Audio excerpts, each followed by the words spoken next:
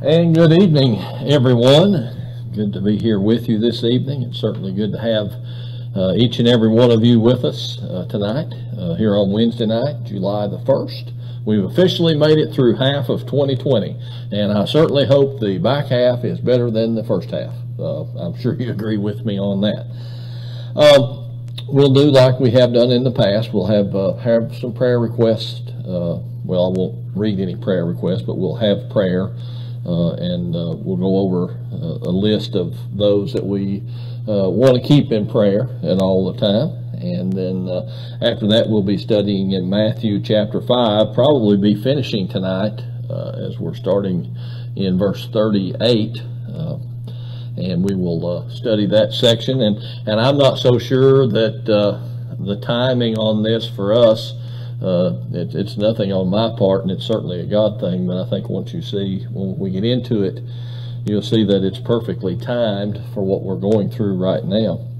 But uh, certainly, let's keep our nation uh, in our prayers as we continue to go through not only this pandemic, but also the uh, the rioting. Though I am pleased to, to hear that uh, uh, this is being slowed down uh, much less than it was prior to. They're beginning to uh, take back over these downtowns and these large cities where this has been going on. But that's not to say that there's still not uh, rioting going on and looting. Uh, I'm not condemning protesting. Uh, it's our right as an American to protest peacefully. But when you get into the rioting, destruction of property, and in some cases murder, then that's criminal activity and uh, we certainly don't condone that, and that's what we need to be in prayer for as well. Uh, also, our president, uh, continue to keep him in your prayers as uh, we move forward, especially as we're getting ready to celebrate the nation's 244th uh, birthday on Saturday with uh, July the 4th, and I hope that you and your families are able to enjoy that go watch fireworks, uh, those that are available around about, and uh, certainly enjoy that. But always remember and celebrate our freedom. It was very hard fought for, and as we can see now, uh, it is worth fighting for, and it may uh, we may have to fight for it again. And so certainly uh, we need to be thankful that we're able to uh, to live in this country that we do, and the blessings that we have because of that. Uh, let's also continue to keep all of our elected officials uh, in our prayers. We know this is an election season. Uh, been odd at the beginning uh, for the election season with uh, a lot of mail-in ballots, but with that, there was even uh, some good news that there was 27% voter turnout, which is the highest for a primary. So there's good news there, but I'm hoping that they'll have it fixed so that we can all go vote in person uh, in November. Uh, be in prayer for that. Uh, and all of this surrounds, of course, the COVID 19 pandemic. And I'd like to especially call for not just a day of prayer for all of us, uh, and share this with your friends on Facebook. And, and uh, not that we haven't been and you don't, but I, I would like to see each of us uh, take just five minutes each and every day and specifically pray uh, for uh, God to remove this COVID 19 virus and pandemic from not just the United States but across the globe. And uh, I believe that uh, when we pray together for a common uh, request, and God sees our sincerity in our heart for that, He will heal, hear. And that's what the Scriptures tells us when, when my people who are called by my name pray. I will hear their voice and uh, heal their land. Of course, that's me paraphrasing that scripture, but I have great confidence in that. So I'd like for all of us to pray uh, for the COVID 19 virus and this pandemic to uh, be removed from us as well. Uh, let's not forget uh, the folks that's lost loved ones. Uh, we had someone here in the church family that lost a, grandfather today, and certainly pray that you be uh, in prayer for that family as well as the other ones that has lost loved ones in the community. And uh, just keep your, those families for comfort uh, in your prayers. Also, and not forgetting uh, brave men and women who serve this nation in law enforcement, uh, the police, any type of law enforcement role, let's be in prayer for them. Let's pray for their safety and the safety of their families and all of those that support them as well. And let's not forget our healthcare workers. Many of these states are seeing great numbers of uh, increases in the cases of this COVID-19 and the uh, the fears that we were experiencing back in March and April about overwhelming the medical system uh, is a reality in some of these larger cities and these states that's seen these increases. So let's be in prayer for not only the folks in our area, the medical staff here, but all the healthcare workers that are still dealing with this. Though we are kind of getting a little relief, uh, there many people are seeing uh, a great burden put on them. Uh, let's also remember the other first responders uh, that uh, take care of us in times of need, our fire and rescue, uh, EMS. Let's keep those folks in our prayers and their families as well, that they're able to go about their duties safely and everything they do would be to the benefit of each person that they serve in that respect also. So be in prayer for our state and county leaders, as we continue to move forward. And I'm going to go ahead and put this out too. Let's be in prayer for our local school board and our superintendent. They are uh, are making decisions, gathering information as we speak. Uh, this week we've been busy doing that, gathering data, uh, guidance from the Kentucky Department of Education, so that we he can make a, uh, a good decision about the reopening of school and let's be in prayer that that is successful and that we're able to do things that will keep uh, uh, this from spreading and maybe have to shut things back down as far as school goes because we know what a, a, difficult time working families have uh, if their children are not at school. So uh, be in prayer for those things. A lot of things uh, going on that affect us locally, whether you have school children uh, in your homes. You certainly know someone that does in your family or friend or neighbor. And uh, certainly we need to be in prayer for the safety of all the school employees. And then, of course, the safety of the children uh, as they come back uh, to school as well. And it will be here before we know it. Uh, starting July 1st, August will roll around, and, and whatever date they pick, if it's August or September, we don't know that yet, but whatever date uh, they pick, it's going to be here quickly. So we'll certainly ask that you be in prayer uh, for those folks as well. And then, of course, those that are on our uh, shut-in list on your bulletin, uh, they have gotten, uh, we know uh, the restrictions has been lifted from visitation into nursing homes.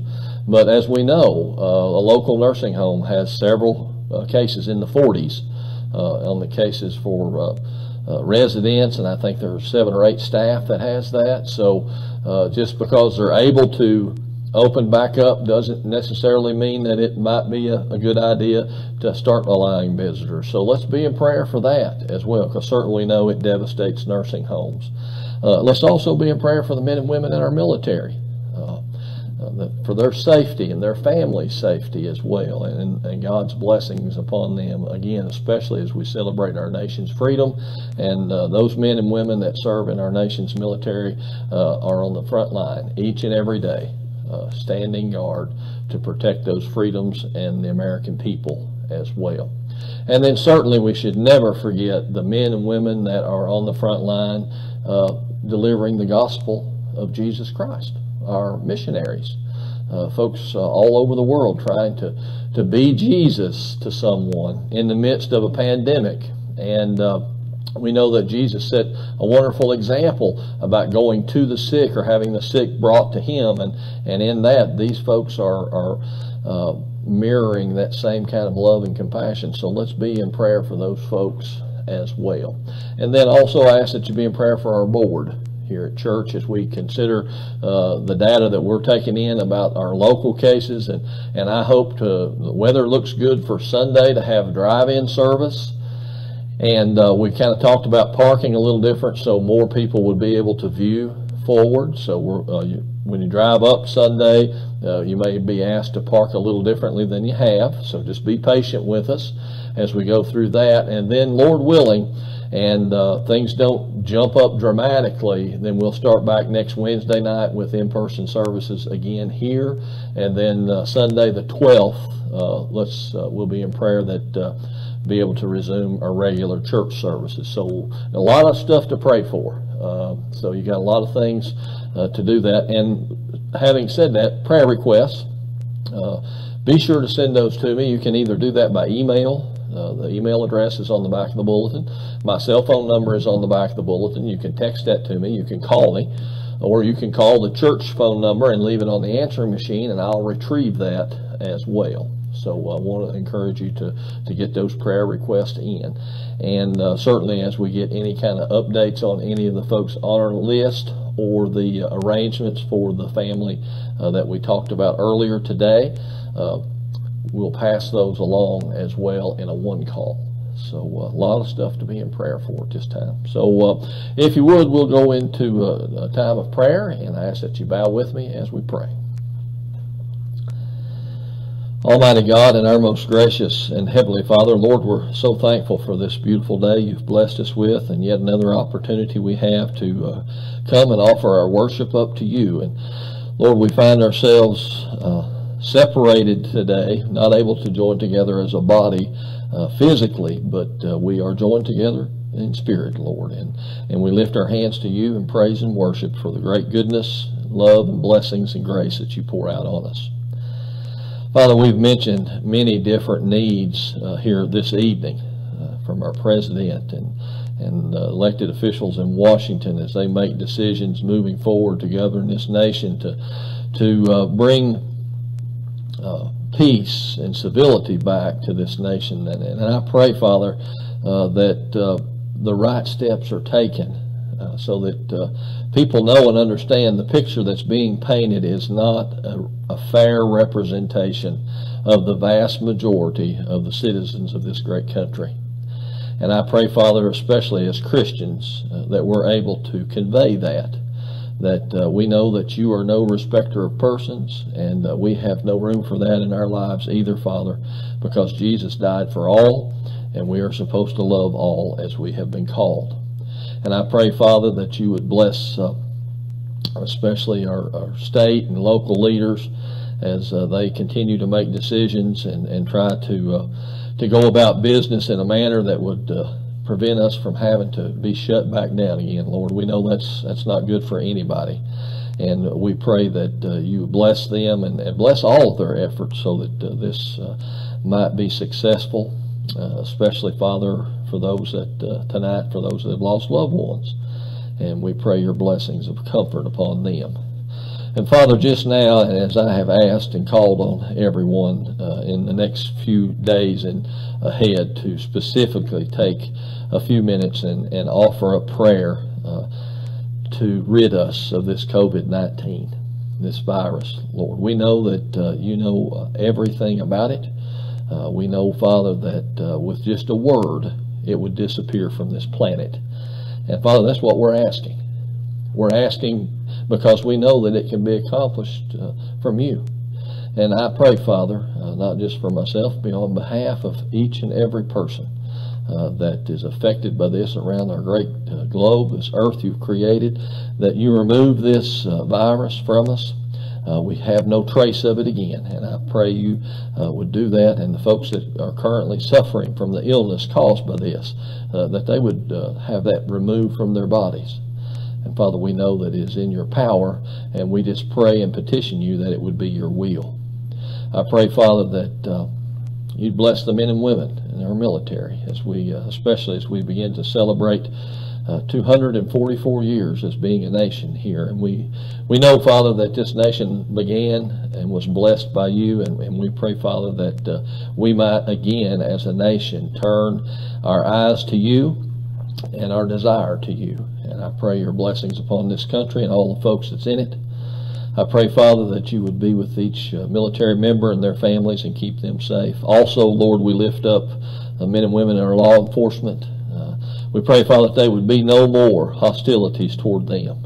We know that they have a dangerous job. We know, Father, that they put their lives on the line uh, each day that they leave for work. And I pray your blessings of safety on each and every one of them, that they're able to return home at the end of their shift safe to their families. Pray also, Lord, for the healthcare workers that are working uh, to uh, help all the sick sick people, not just those affected by COVID-19, but those that have all the other diseases that we that we go through uh, uh, at this time with the cancers and and uh, heart failure and heart disease and, and just uh, breathing problems aside from the viruses, and just pray your blessings upon them. Men and women that serve in our first responder areas, Lord. Uh, EMS and uh, EMTs, the rescue squad, the fire departments. Uh, we pray, Father, your safety and blessings upon them. Lord, we have many other needs, uh, but certainly not forgetting the needs of the those working in the mission field, serving you. And we pray, Lord, that you would bless their efforts and that people would learn and know about Jesus Christ because of their efforts. And pray that you would keep them and their families safe as well. Watch over, Lord, those that are in nursing homes or shut in in their home and keep them safe this evening. We pray also, Father, uh, that you would guide and direct us in everything that we do, especially as we go through this lesson tonight and how it speaks to us as Christians in the midst of what we're going through as a nation. And I pray, Father, that we can take this wisdom from Jesus' words uh, as he spoke on the Sermon on the Mount and apply it to our lives, and that people would, in fact, be able to give you glory because of our actions. And I pray, Father, if we fail you in any way, that you would forgive us. And we ask your lead, guidance, and direction in all things. It's in Christ's precious and holy name that I pray. And amen. All right. Well, as I said, uh, we're going to be in Matthew chapter 5. So if you're there, you need to get over to verse 38 is where we will be studying from tonight.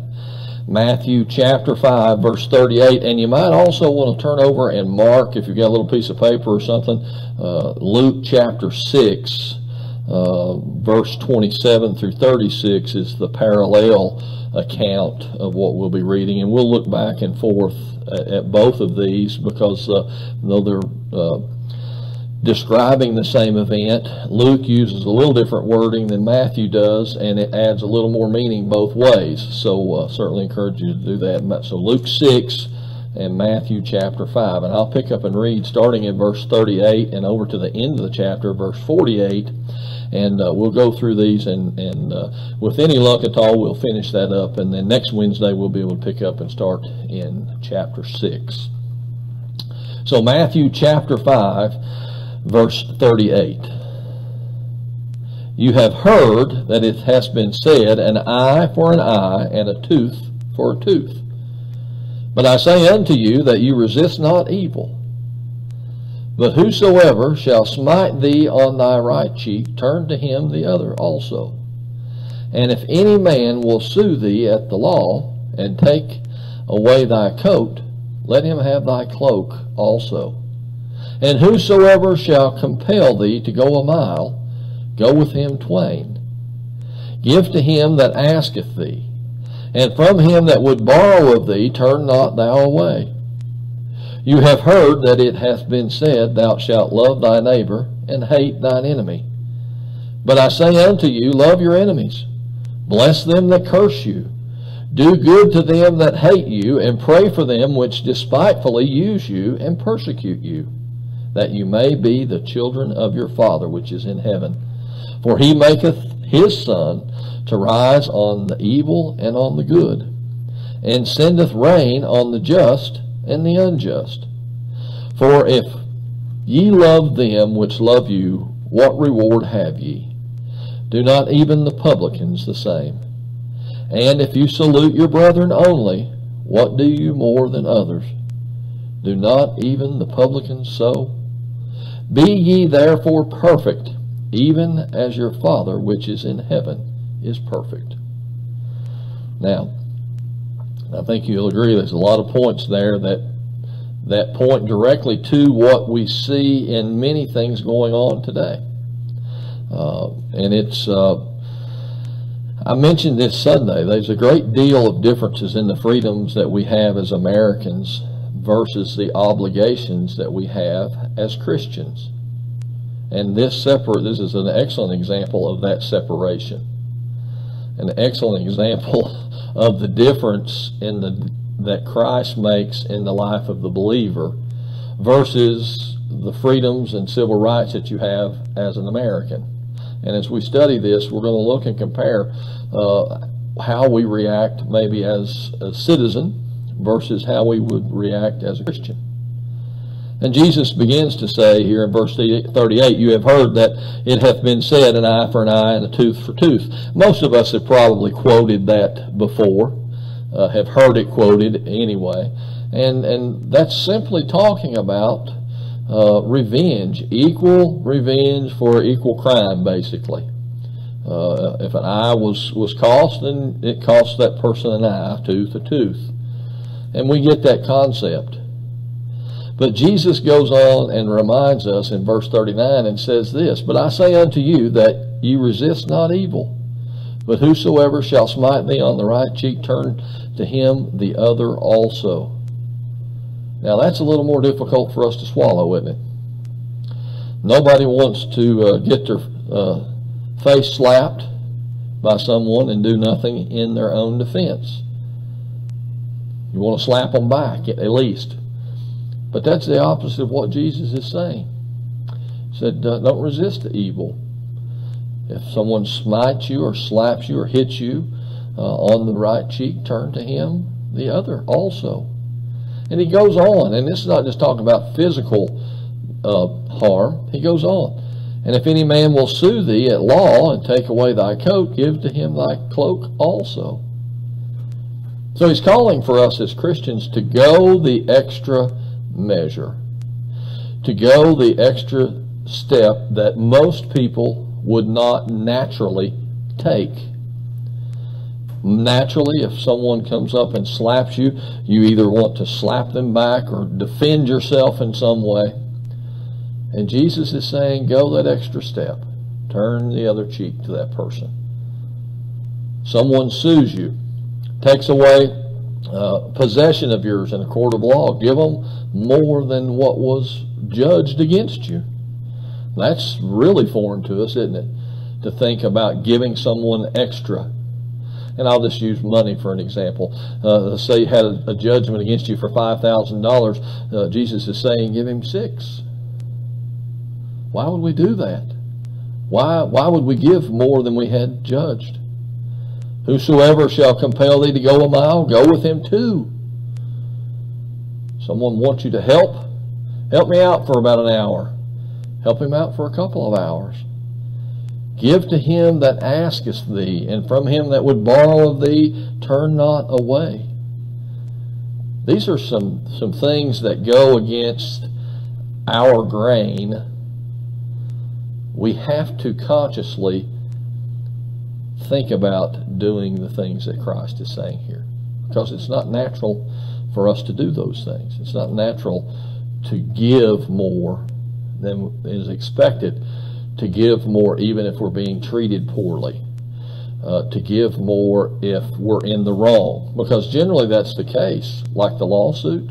If you lose a judgment in court, generally speaking, you have been in the wrong.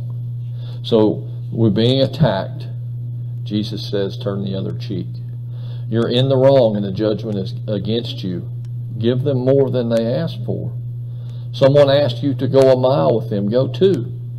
Someone asked that you give them something or borrow from them. Don't turn away from them. Give. And then look at what Jesus says in verse 43. You have heard that it hath been said, Thou shalt love thy neighbor. Now that we all can do, right? I mean, we've probably heard that or seen that on Facebook 500 times in the past uh, few weeks with all of the turmoil going on. Love your neighbor, love your neighbor. But unfortunately, what we see here uh, is the second part very prevalent. It's what we see on the news, and I believe they do that just to keep us stirred up and worried, to make us think that things are worse off. And hate thine enemy. Well, who's thine enemy? Well, I can tell you who the enemy is. It's the devil. That's our enemy. That's the enemy of all people. It's the enemy especially of Christians. But Jesus is quoting here out of the Old Testament. Leviticus, if you want to look that up, chapter 19. He's saying, Thou shalt love thy neighbor and hate thine enemy. But he changes that all around. He says, But I say unto you, love your enemies. Bless them that curse you, do good to them that hate you, and pray for them which despitefully use you and persecute you. Wow, that's difficult for us to do. Oh, that's just as foreign as those other things that I've talked about, that Jesus has talked about, and I'm just quoting. Love your enemies. Bless them that curse you. Do good to them that hate you. Pray for them which despitefully use you and persecute you. Now, that's a whole different thing, isn't it? But we're called to be a peculiar people.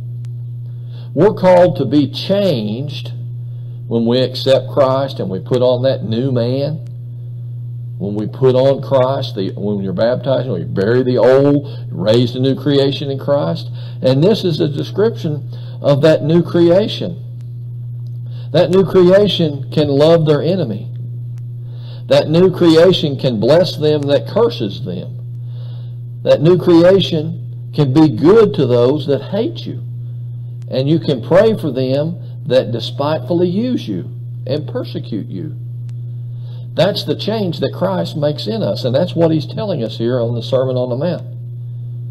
And he affirms that in verse 45. Look with me here. He says, That ye may be the children of your Father which is in heaven.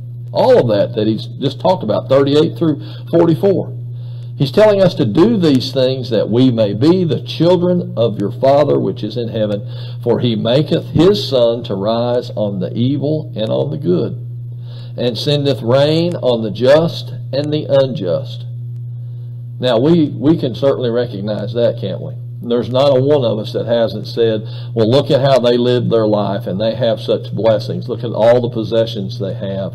Uh, look at the home, the car, the job, the, uh, all of the things. On the external is what we're judging now. Remember, we're judging on the external. But if they have no relationship with God through Jesus Christ, do they really have anything of value? Oh, they may have material goods but we know that those are only good while we are here. And the time that we are here is very, very small compared to eternity. So listen to what Jesus is saying again. For ye may be the children of your Father which is in heaven. For he maketh his sun to rise on the evil and on the good, and sendeth rain on the just and on the unjust.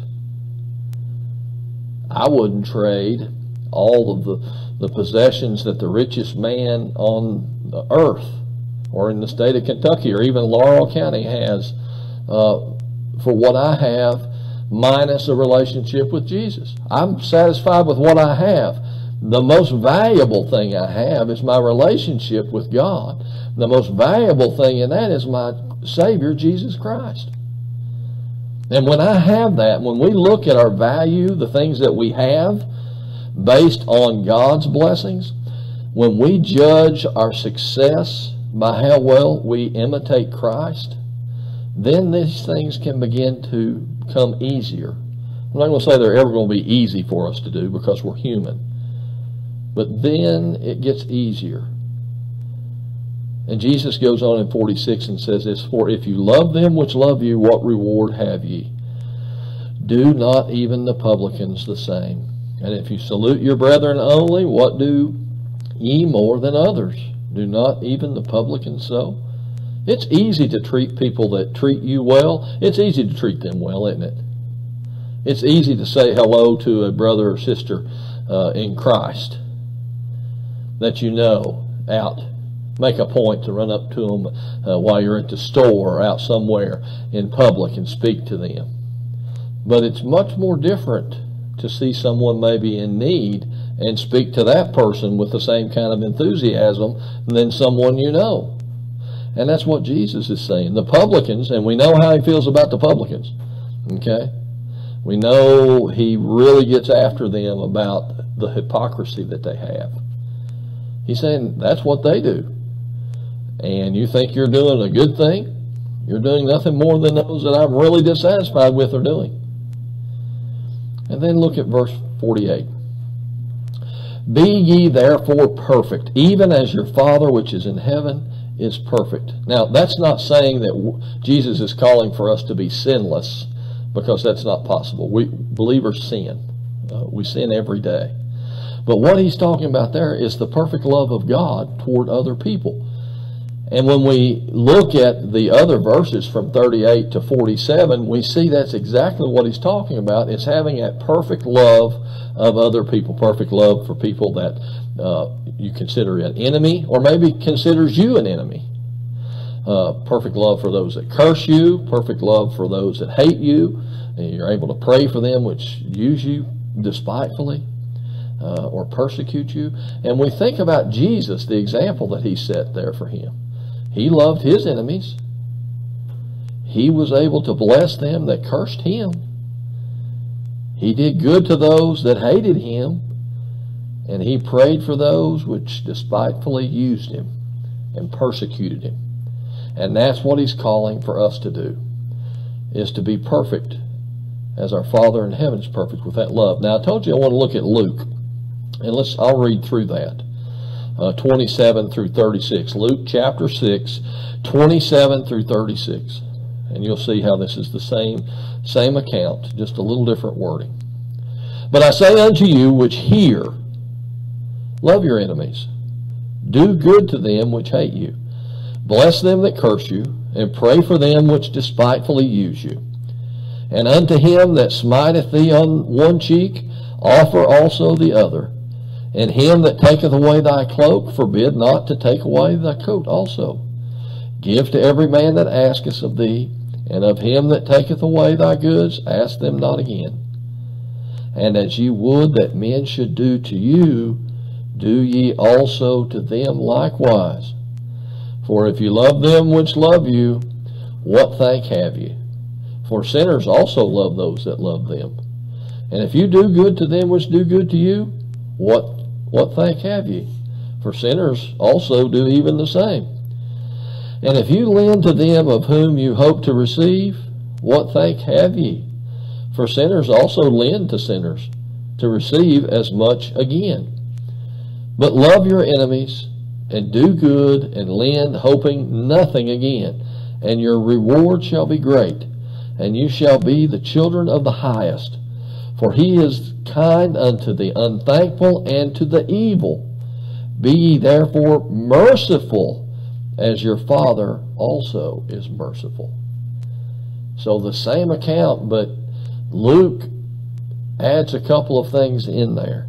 And the one that I wanted us to look at specifically here is verse 31. And as ye would that men should do to you, do ye also to them likewise. The golden rule is what that basically is. And that's how we should lead our lives, not only as Christians, but as Americans. We should do to every man or woman or child, we should do unto them as we would want done unto us or our wives or our children. And if this nation would just take heed these 10 verses in either gospel and take them to heart, what a wonderful place this would be. What a change we would see in our country. Now, how is it that those folks or folks like them can see these 10 verses? Each and every one of you and myself. Living out what Jesus is teaching us to live out. Having perfect love, like he said in Matthew's account. The perfect love that God has. And he uses the word merciful here being merciful to others, forgiving, having compassion. Not just extending that love, compassion, and mercy to those that we know, those that treat us well, and those that uh, we get along well with or share our kind of faith.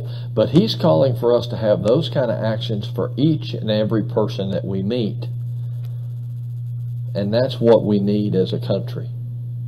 We need to have the same kind of love for whoever we come to, whoever we encounter, as we would for our own families. Now, remember, we studied in Matthew in verse 43, hate thine enemy. Remember, we have an enemy. Peace has an enemy. Love has an enemy. And he's been around for a long time. He tempted Jesus in the wilderness. That's our enemy. And in the same way that he tempted and, and tried to trip, trip up Christ while he was in the wilderness. He does that to us each and every day. And the hate and the anger that we see in, in the, some of these rioters, some of these uh, cities, that's the same kind of hate and evil that our enemy wants to keep stirred up in us, in us as individuals, in us as families, in us as communities, in a nation, and really in, in the whole as world.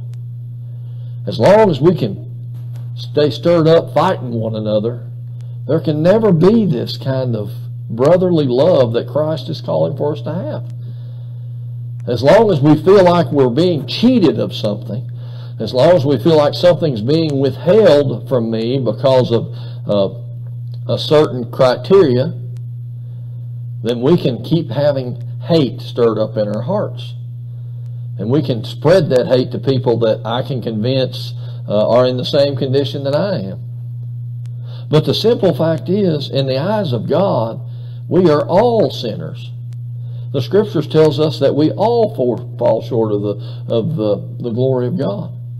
And Jesus also says this, I am the way, the truth, and the life. No man, no man cometh to the Father except through me. And that's when we have that kind of love that Christ is talking about here, when we have the realization that I'm no different than anyone else except that Jesus' blood covered me, and yes, I may be wronged. Society may say that I should take some kind of revenge. But Christ tells me to have mercy because who is, who is most uh, allowed or has most justification to take revenge other than God on us? And especially given the price that was paid so that we might have salvation.